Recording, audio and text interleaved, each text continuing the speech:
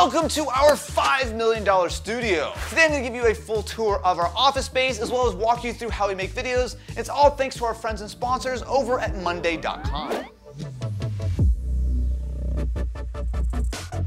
Hello my friends and welcome to our office. So last time we did a tour, everything was entirely under construction. And while construction is still going on, it is a lot better than it was last time. We're doing a bunch of stuff today. Very kindly, Monday.com have sponsored this video. We're gonna talk a lot more about them in a little bit. But first, why don't I give you a little tour of the studio? So we started the process of looking for this building in 2021. It took us pretty much a full year to actually find the right building, get the keys to it, go through that whole process. Like that was an entire year of my life. And then the year after was getting it built. And so we've pretty much been non-stop working on it. And there's actually like literally like new rooms over here um, since we started. So actually, let me uh, let me take around uh, a look around here. Once we got the process started, once we started really looking for a much bigger spot, like we, what we ended up finding, uh, it, it was worth it. It just was not an easy process going from a couple of small little loft units to an entire ass building. So if you come into here, this is all new compared to last time. So this area used to just be storage. Now it's the edit den where all the editors work. And as you can see, there's a lot of construction equipment around um, because we're currently in the middle of putting AC in half the building. So if you ask me what it feels like to spend a Lamborghini on air conditioning, I can tell you, not good. Whew! Kind of hot in here. What a great time to tell you about the sponsor of today's video, Monday.com. So we were putting together this behind the scenes video, it felt like the perfect opportunity to trial using Monday.com. Because let's be real, we can use help with not only the AC, but also with our workflow. Being a creator is heavily dependent on data, whether it's all the projects and the various pre-production steps to get to making a video, or the analytics after the fact when a video goes live to understand it. And the nice thing about Monday.com is that it puts everything together in neat little graphs that even I can understand. It also boosts collaboration. I can't tell you how often I'm walking around the office to see if a project has been done or not, whereas with Monday.com, it makes it incredibly simple to track tasks from start to completion. But more about Monday.com a little later on. This, my friends, is the conference room.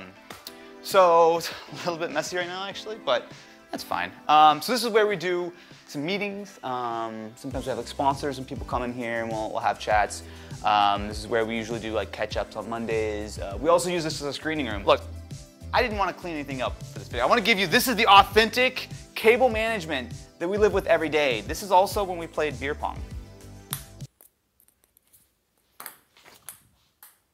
So when we first got this office, it was uh, built in like the late 80s, early 90s, and it was all original. It was so just grungy and carpet. It just had never been taken care of. And for me, it's like, oh, you know, it's a standalone building. We don't have to worry about like the sound and all this kind of stuff. And it's very big. It's way bigger than what we need right now, but it's big enough for us to grow into. Because that was really the number one thing. I did not want to take a leap forward and then feel like we're crammed in a couple years later. All right, let's go say hello to the edit team. A few months ago, we finished building this out, putting the AC in, and now it's super nice. Hello, gang. So this is where the editors work. As you can see, it's a lot bigger than we need right now. So there's a couch and a TV and a bunch of stuff. It's definitely like, this is like the most cozy vibe in the office. And then, I don't know, if Greg Ken's around. I'm just gonna just take you into Ken's office because that's fine. Can you tell that this is Ken's office? He'll be super happy with you that you didn't let him clean up. Yeah, here's the thing. He knew that I was doing the studio tour because I told him like 20 minutes ago. So this is all on him. Look, he has like clothes in here. He has bags. He has stuff that he hasn't put back since, you know, Yeah, he does ago. have plenty of bags. More the bags than I think that are necessary. But I'm showing you the real overclock. I'm not showing you the, the, the clean, perfect angle. I'm gonna show you all the nonsense that's here. So this is our break room. Um, if you've noticed, it doesn't look quite right. Uh, look up in the ceiling. Look at all the stuff up here. These are all the AC units that are not working right now, but I think will be up and running next week. AC is great. I love the fact that it got hot and all of our AC units stopped working and we had to do all new AC literally in the entire building.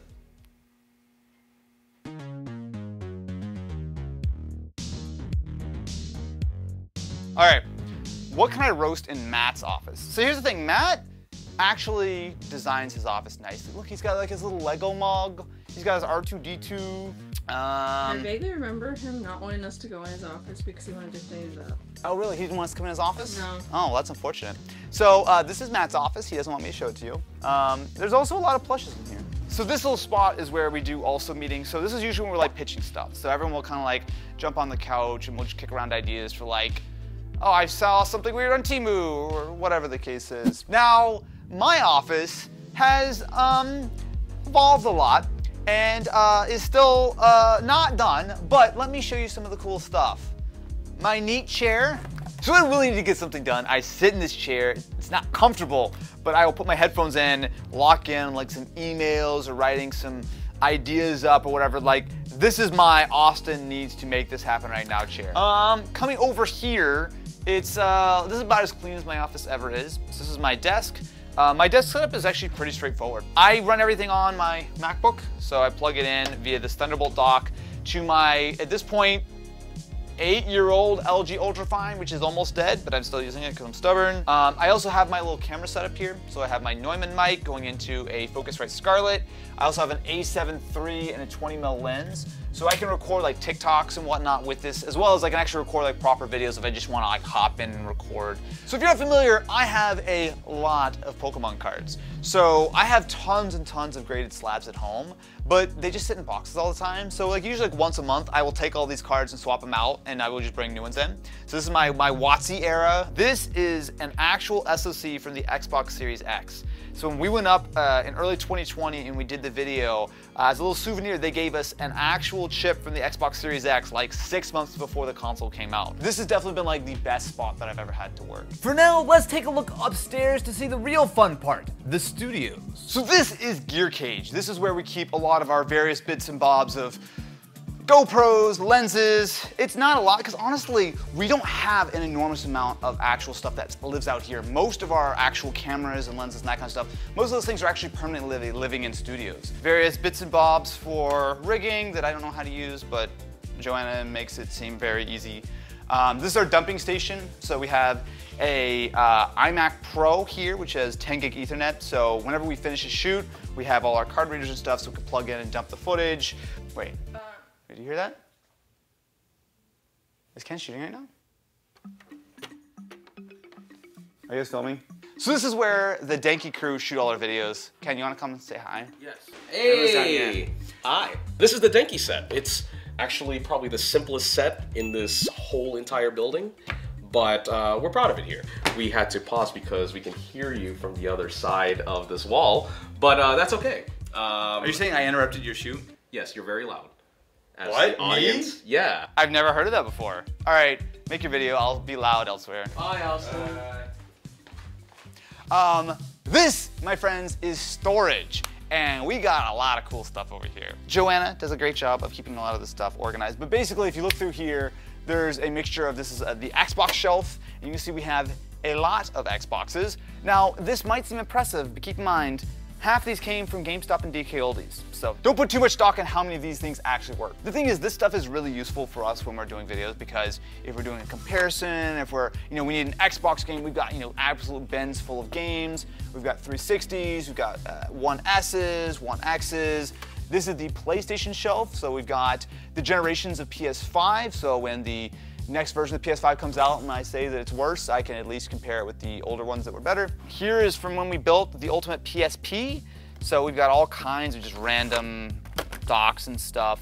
It was funny, I feel like a huge chunk of what we do in videos is just trying to track down weird, cool tech, uh, stuff that's, you know, boxed original from like 10, 20, 30 years ago. So we have a lot of accessories and we really hold on to them because we're constantly using them for building the ultimates or uh, wish videos or whatever the case is. Um, something slightly cooler is we've got the PSTV, um, which we pull out. Most of them are doing like period correct videos like the PS3 and whatnot, but this is the PS3 TV. I mean, technically it's just HDMI, but it actually supports um, 3D, which is really neat. Uh, we've got bins of devices. So we've got an entire two bins of phones, and these bins are heavy, so I'm not gonna bring it all the way down, but um, as you can see, we've got them expertly organized. We've got ourselves LG, Huawei, Moto, all kinds of stuff in here. Um, then here are bins of laptops, and the so one, two, three, four, five, six, seven bins of laptops. So this might seem like a lot of stuff, but we actually end up donating a lot. So what you won't see here are a lot of like mystery tech items and some more generic things. Like these are the things that are actually like, properly useful on like a regular basis. A lot of the other stuff we just simply donate. In fact, actually, if we come over here, None of this is released. This whole shelf. oh, I can't show any of this stuff. Oh, sorry. Uh, just blur this whole shelf. Anyway, am I being too loud still? Yes. Okay, fine. Show me your shelf then. What do you got over here? Nothing. Nothing. Really?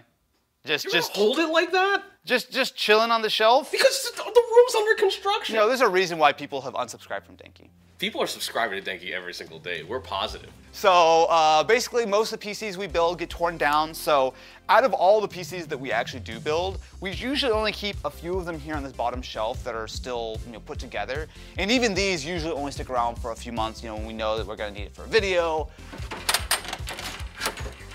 You can tell he's never handled any You know, I'm here's the thing. My role here is ceremonial. Uh, I'm just here as a figurehead to, to lead the group, and, and um, uh, I pretend I know what I'm talking about. Anyway, lots of PC components here. We've got ourselves tons of RAM. Um, we've got ourselves stacks of CPUs. So again, when we're done with the build, pretty much all systems get torn down and put into inventory here. It looks so empty. Everyone just keeps rotating around. The bag looks. See, look, look. If I go fast It's enough, It's your video. if I go fast enough, you can't hide. Welcome to the This Is Studio. So this is the first proper, actual, like fully built setup that stays permanent. So the whole this whole setup is meant to be uh, swing around, so we can either shoot this way or uh, up against this wall. And it only takes about two three minutes to actually set it up. So all the cameras are FX3s, um, with the exception of we have one, the only FS7 in the entire company we still use, which is this Well, guy. not more because I just ordered uh, FX30 What? for this. You ordered an FX30? Yeah. So we can stop using this. See, this is this this is how you get Austin to buy stuff. Is you just do it and then you blindside him with it, and then he'll talk himself into having purchased it. Let's move on to the other studio. All right, next up we have Studio B, which is where the main channel shoots. This probably looks a lot more familiar, so this is the studio that I spend the majority of my time in. Also, if you hear stuff, there are electricians on the roof installing AC units. So, basically the setup in here is relatively straightforward. Um, so we do a mix. So for Mystery Tech, we typically use the three camera setup. For other types of videos, we typically use this setup, which is just the handheld A7. So this is what it looks like when I'm talking to A camera, and this is what it looks like when I'm talking to B cam. Um, and then also, this is what it looks like when I'm talking to C cam. There you go. See, this is the classic shot. But I'll tell you a little secret. This studio is actually only set up for me. So if I come over here and you look at like something like ACAM, right? So if you look at that feed right here, so hello, it's ACAM. You see how um, the headroom is made for me? If, I don't know, I was a little bit taller, like say Marques height, then uh, you'd have to pan up the camera. But we literally cannot move the camera one inch up. Otherwise, you see all of this. Like it is precisely configured for me, which means that no one taller than like six two is allowed on the set. And if they are, it looks bad. So, uh, short kings only. It's a good setup in here, but let me continue on through some of the less nice parts of the office because from this point on, we're entering Janktown.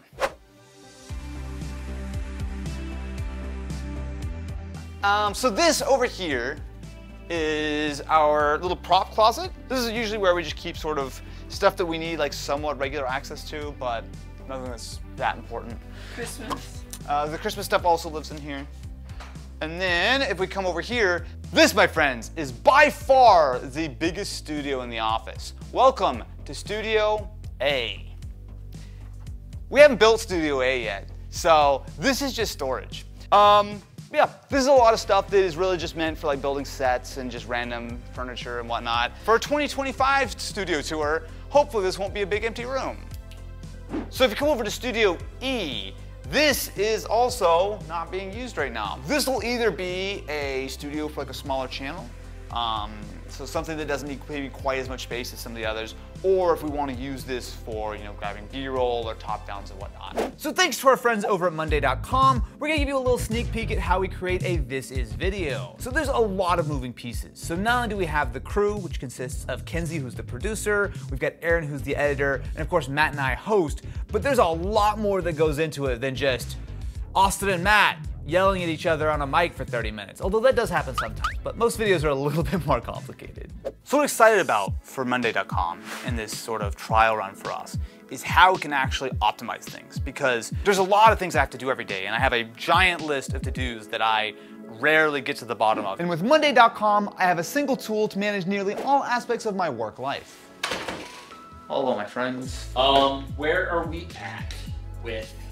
On a day-to-day basis, it is pretty tough because we are at any given time working on about 10 to 15 videos somewhere in a pipeline that is either in production, it's in uh, post-production, it's in pre-production with research, and there's just so much that we need to keep track of. We need to keep track of dates on when videos are gonna go live. We need to keep track of when we're actually gonna be shooting these videos, when embargoes are for products. There's a ton of dates to keep track of. So trying to keep like, oh, what are we shooting today that's gonna fit into our schedule is probably the biggest challenge for us to be able to easily at a glance see exactly where each project is, where each video is, how much this video needs to do, if we need to, oh, this is missing some B-roll, oh, this edit's half done, we need to watch it before we give notes back, or whatever the case is, having it all in one space is tremendously helpful. Where this is especially important is with Kenzie, who has a lot of work to take all of the pre-production ideas and concepts and put that into a form that we can actually shoot a video on. Hi, I'm Kenzie. I'm the producer for This Is. Well, hello. Hi. All right, how are we looking? So, uh, I just printed out for the This Is workflow, there's a main uh, board that's actually like the pipeline of the whole thing. So we have like, we mostly look at it in Kanban form where we have like, here's video ideas, pre-production,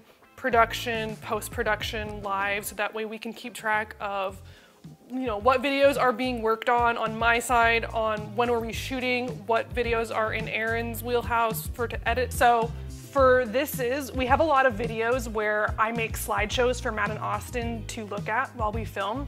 And so I made it such that if I take one of these videos cards from ideas into pre-production, it will then automatically make a card in my own personal board for pre-production and then I can just move that over when I'm ready to work on it. So you basically can use those automation tools to simplify you having to create multiple cards, yes. set yourself a reminder that, oh, I need to do this yeah. step, or that's really cool. Yeah, we ended up actually making a lot of physical props, and for something like that, there's a lot of like little bits and pieces that go into that, and so what I can do is make these, like make little card tasks for myself, make some items in the workflow, and then I can say these are all, attach them to this, uh, this video card on the other board, and that way I can then look at them and I can say like, okay, here's where we're at, here's how many of those parts are done, here's how close we are to being able to move that into production so that when Matt comes to me and says, hey, we're gonna shoot some stuff on Thursday, what things are, do we have ready? And I can tell him, we have this ready and we have this ready, and then we can kind of work from there. What you might not realize when you watch this as video is how much like Matt and I roll up and Kenzie got everything prepped. Usually you've got like slides for us. Sometimes she like writes jokes for us. So like anytime you look, uh, spoil it, Matt's not gonna be happy. Anytime you see us looking down below the camera, we've got a monitor there, and a lot of times we're reading the jokes that Kenzie wrote for us. So. I write my own jokes. Yeah, yeah, but Kenzie writes funny ones. We will see you tomorrow when it is time for the actual shoot, and we'll see all the wondrous this is action in action. action? Yeah, we can go with that. All right, perfect. This is take one of the Weird Consoles tier list. When we're just talking about something, if we're not like fired up and like arguing, or if there's not like some interesting content, we can do the whole thing in like five minutes, right? So we need to kind of get in sort of the um, the right headspace and kind of get all amped up about it. That being said, Kenzie's done so much pre-pro on this that it should be pretty easy for us to argue these things. We have all the props that we can kind of lean into. So now that we have finished shooting, it is time to send this down to Aaron to start editing and see how that workflow goes. Yeah, hi, I'm Aaron. I'm the editor for This Is. Hello, my friend. Hello. Are you ready to chop a disaster of a video? Oh, I always am. Most of them are. From here, do you want to run everybody through kind of like a quick hit on the workflow? Yeah, I pull it into the timeline, get our LUTs on it, get the our sound profile on it so that the audio is good, and then I just start watching through and yeah, cutting everything. Delete all the stuff that Matt said. Yeah, because so it was mostly wrong. do- There we go. just- Perfect. That looks great. I think Yeah, that's and the way then- this And is. then I can just, you know, a lot of sound effects, a lot of noises, a lot of fart jokes, a lot of wow. I'll have to send Rio the noise so she can put that in over me saying that. Whenever you guys say something stupid, I just put a some sort of noise in there. I would say probably 90% of it is that. Usually, what, once I'm done getting rid of all the times you guys weren't funny. Uh, anyway, All right, cool. Well, uh, have fun editing the video. yeah, great. If you're ready to give Monday.com a try, what are you waiting for? Right now, you can get a 30-day free trial by visiting the link in the description. And above all, I really want to thank you for watching this video. We would not have this very cool office space and have been able to grow the team as much as we have without you watching, liking, subscribing, and ringling that dingling button. It does truly mean a lot. Until next time, my friends, I hope that nothing else breaks, but I'm sure it will.